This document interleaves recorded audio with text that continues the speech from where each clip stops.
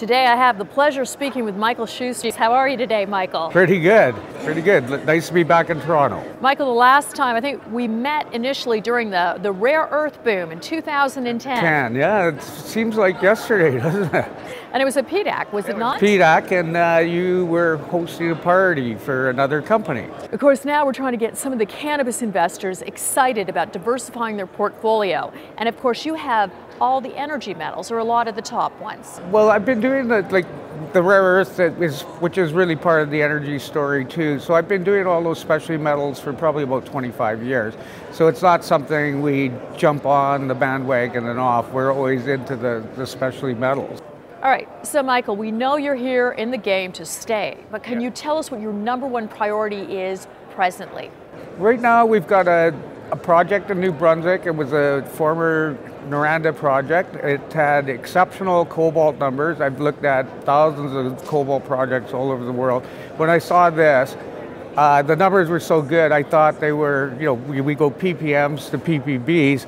I thought for sure this is ppbs, which is a smaller number, because the numbers were so high. So when we, I confirmed it with the ex-Noranda guys, looked at all the old data, I said, I gotta get this. So we have cobalt, we have nickel. Nickel and copper. And copper, which of course is one of the top technology metals. Yeah, nobody, nobody uh, knows that, I seem, but it is.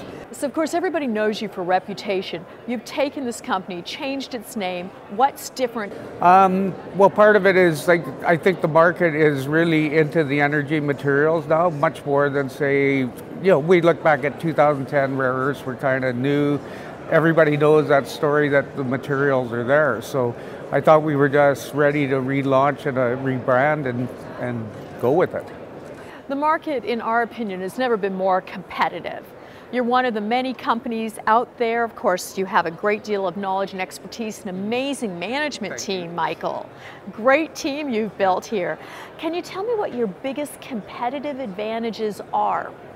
Well, I think we've got one of the best cobalt projects out there, uh, but it's also copper nickel, which is not bad commodity space either. Sorry, yeah. why is it one of the best projects in the world? I want to know, Michael. Uh, because of the geophysics that we've that was previously done by Noranda. We have a very world-class target uh, on the geophysics. We've done a brand new survey using expert geophysics, the best guys in the world. I had Kit Campbell, probably the best geophysicist in the world. If Kit watches this, he'll like that, but I think he is.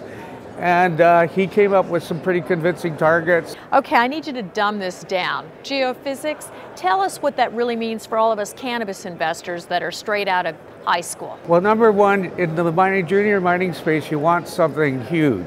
And the geophysics tell you if you got something huge. So we do have something big a big target. We put a couple drill holes in it. We will look like a marijuana stock once we get some results. We will look like a marijuana stock. I love it. So what should we anticipate this spring? Um, I think that the, the, stock price will creep up. As everybody knows, we're getting closer to the drill program. We're fully funded, so we don't have to raise money. Uh, we're a very well structured company, uh, so that if we get some good news, we can the stock can really move. And I've got some really influential investors, sophisticated mining investors, and probably some of the best guys in Vancouver are backing the project on the pure science of it. Okay, for the pure science of it, love it. Thank you so much for joining us today, Michael. Okay, thank you.